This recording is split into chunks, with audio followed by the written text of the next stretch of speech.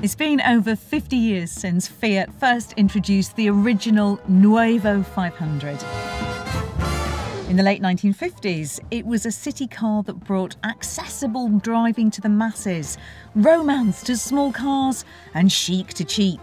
It was little, clever, groundbreaking, and thoughtful. It was packed with Italian style, practicality, but it still had flair. And yes, it sold by the bucket load. Then there was the new one, which did pretty much the same thing in 2007. All in all, it's been a bit of a phenomenon, and British towns are full of them. It lasted 13 years, almost unchanged, and sold more than 2 million.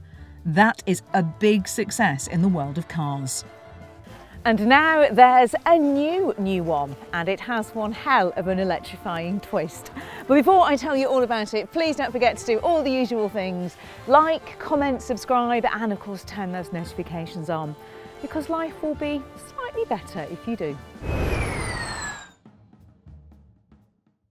And back to this, the new New 500. Now this car is very different from those around the corner from you because in true forward-thinking Fiat 500 fashion, this car is powered by electrons. That's right, the all-new 500 only comes as a pure electric car. And I think that's a very good thing. Why?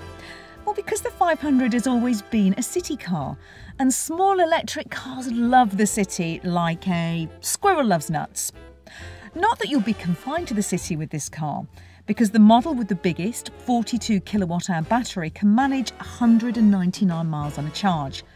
Look, I know that's not a game changer when you compare it to slightly bigger cars like the Peugeot E208 or the Vauxhall Corsa E but it's a good chunk more than the funky, fashionable little things like the Honda E or the Mini Electric, which incidentally it also undercuts on price. Now Fiat says the electric 500 has, and I quote, the longest range of any city car on sale today, which is quite a bold claim, isn't it?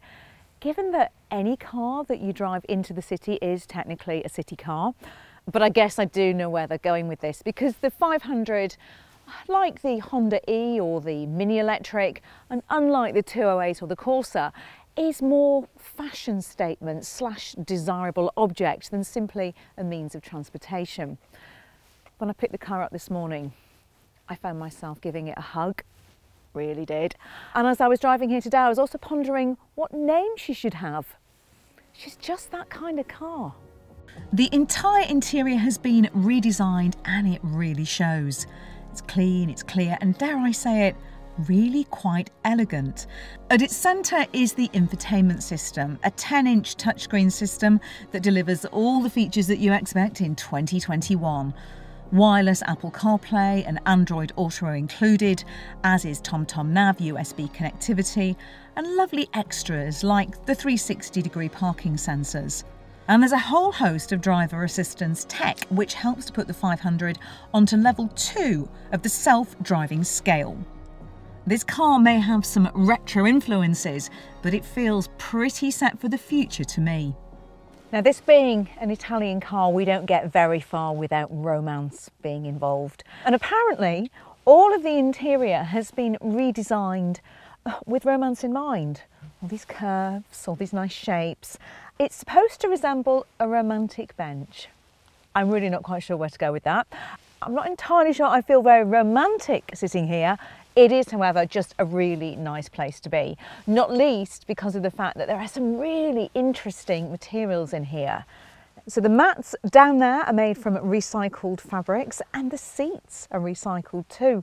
They're made from something called Seaqual, which is a vegan material produced by using up waste plastics from the sea. How cool is that? Also very cool is the fact that the chrome isn't chrome. It's actually paint because chroming isn't the most environmentally friendly thing to do. Lots of really nice touches and the 500 proves that it isn't only Tesla that can come up with Easter eggs. There's a couple in here that I really like.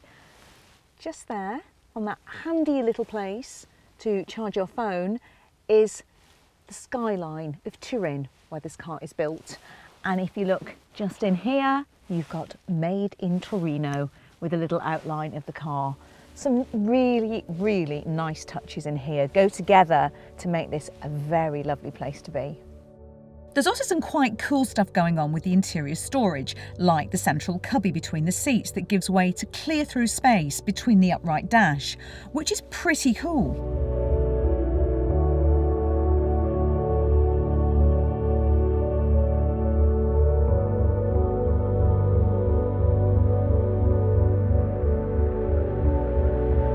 But I think the coolest thing about the 500 is that along with the hardtop, you can have it as a semi-convertible like this. I mean, is there anything quite as joyful as an electric car that is a convertible? You can smell the smells as you're driving along, you can feel the sunshine on your face, the wind in your hair, and you're not bothered by an annoying, pesky, loud engine. It is absolutely brilliant. And the other great thing about it is that it gives you a fighting chance of hearing something really quite special. There's this whole thing, isn't there, that pedestrians can't hear electric cars coming. And car makers have had to come up with all kinds of bings and bongs and sounds to alert them to the fact that there's one close by. Well, Fiat have just played the ultimate top trump card when it comes to that. The 500 doesn't make a noise to alert passengers. Ugh, no. It plays a few bars of a piece of music composed by Nino Rota, who also composed the music for the Godfather movies.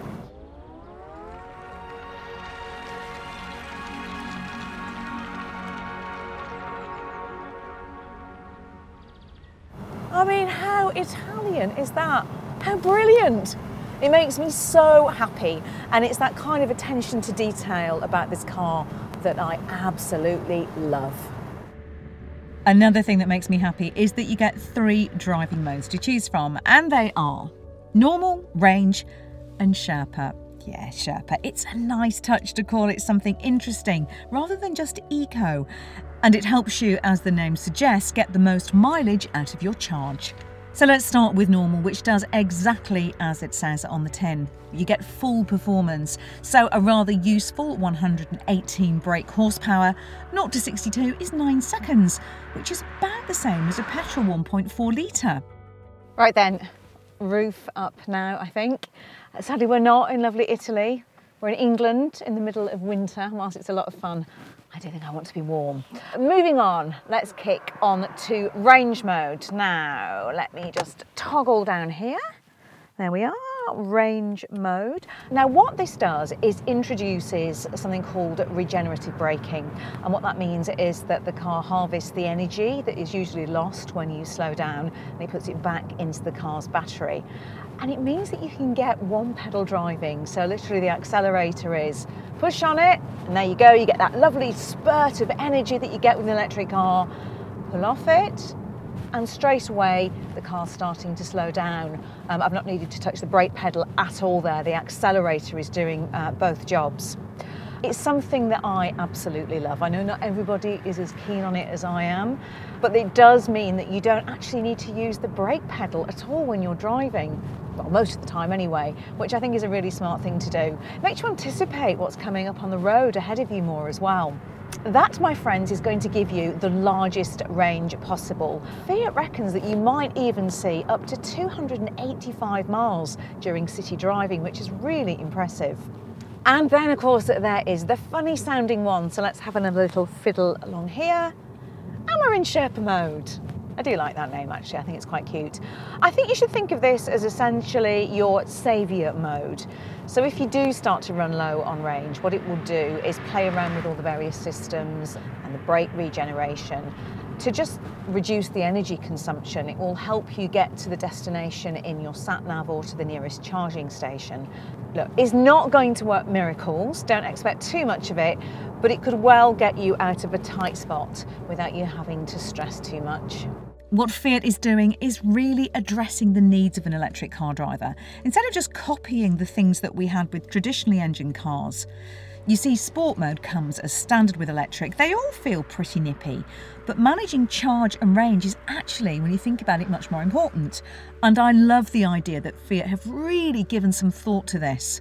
So, let's talk charging. And it's actually pretty good news. Now, the lower spec cars get a slower 50 kilowatt onboard charger, whilst the higher spec like this one get an 85 kilowatt onboard charger. And what that means basically is that you can plug in and add around 30 miles of charge onto this car at one of the fast public chargers and you can top up from 20 to 80% in just over half an hour. Now those figures are only, as I said, if you find one of the more powerful faster chargers. If you find one of the standard 50 kilowatt ones, which are far more common, then that figure is going to leap up to around an hour. This larger battery car will take around six hours to charge on a home charging unit, and the smaller battery, that's going to drop to around three hours. As for all the other stuff, well, the 500 is pretty much as you might expect. It's easy, not to mention loads of fun to drive. Everything feels very intuitive. It's easy to judge, you know, from the pedal responses to the steering, which incidentally is fantastic. It's very light, very easy to control, and it has one hell of a turning circle, 9.6 meters to be precise. I mean, it's virtually at Honda E levels of U-turn cheekiness. It would put a London taxi a shame. What that really means is that it's very easy to navigate around awkward roads or car parks. You can squeeze into those difficult little spots with ease. I'm very conscious that I'm driving around in this cheeky little Italian car with a big smile on my face, telling you all how wonderful it is. And there do have to be a few downsides, don't there? I wouldn't be doing my job properly if I didn't find a few. So what does let the whole thing down slightly is the ride comfort. Look, it's not terrible, but this car has those absolutely gorgeous 17 inch alloy wheels, which means that it is a little, let's just say, bumpy on certain roads. I think smaller wheels would definitely make a difference and we will report back on that when we get a chance to drive a car with the smaller wheels on it. But thankfully, that's really about it. One thing I'm really noticing here as I scooch back in my chair is the headrest and the seat feels like it's got memory foam in it. So comfortable, which is not something that you could have said for the old new Fiat 500. The seats just weren't that great at all. But this um, seat is set lower, has a really good range of movement, both the wheel and the seat, and it's just, yeah, really comfortable. Sort of very nice little extra surprise, actually. I wasn't expecting that. So, the driving and the tech is all bang up to date, but I haven't even mentioned the way it looks and I think it looks great. It's contemporary, but it's cute. I love the grille, the 500 badging, these arrow shaped indicators. I love the way the lights look as if they've got little eyelashes above them. Even the electric door handles are great, although you do wonder if that's one thing that might go wrong. So, what about the bad stuff? Well, it would be quite handy if your backseat passengers didn't have any legs, because space really isn't at an optimum in there. And as for the boot, well, it is basically just an extension of my handbag. It's very compact. But look what's in the boot. This is absolutely brilliant. This chic, stylish bag with two handles is actually home for the charging cables. That is fantastic. I haven't seen anyone, any car maker, give as much thought to what the cables go into as this. I just love the Italians for coming up with something as chic as this. In fact, it's nicer than my handbag. I'm going to stick with this.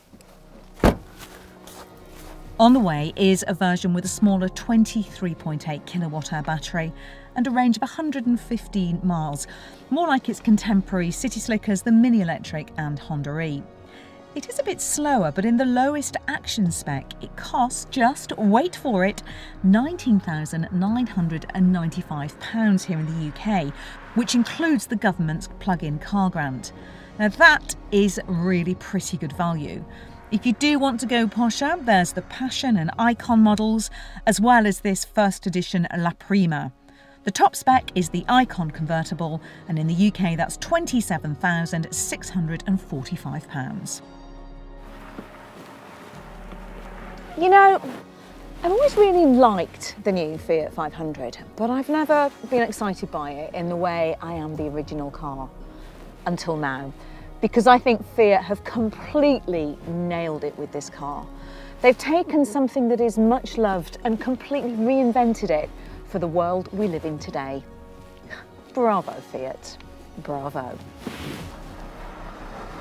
Thanks as always for watching, and please don't forget to subscribe to the channel and turn those notifications on so you'll know when our latest video has landed.